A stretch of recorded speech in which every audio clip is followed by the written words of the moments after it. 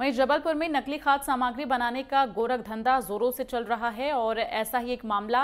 आपको बता दें, गलगला कोतवाली से सामने आया है, जहाँ एक नामी ब्रांड की नकली चाय पत्ती बनाई जा रही थी और जिस पर गलगला पुलिस ने छापेमारी की कार्रवाई की है, जहाँ लगभग डेढ़ लाख रुपए की कीमत की 20 पेटी नकली चाय पत्ती बरामद की गई है। पुलिस ने एक आरोपी को भी गिरफ़्तार किया है, जिससे पूछताछ की जा रही है।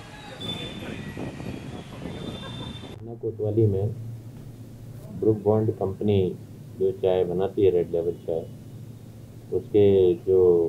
यहाँ पे ऑथोराइज एजेंट हैं अनिल मल्होत्रा, उन्होंने एक शिकायत की कोतवाली में कि शाश्वत ट्रेडर्स जो गलगला में हैं, मिस्टर प्रकाश चांदवानी जिसके संचालक हैं, जो जमापुर में रहते हैं, वो नकली ग्रुप बॉन्ड रेड लेवल